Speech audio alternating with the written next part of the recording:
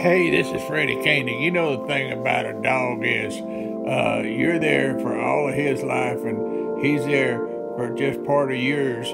But the part that he's there really does help. You know, you think back, man, I, you think I was happy when I had that dog. And so I'm just saying that uh, it's good to, to have a dog and whatever happens, happens, but love it. Nobody thinks that this is the ideal solution.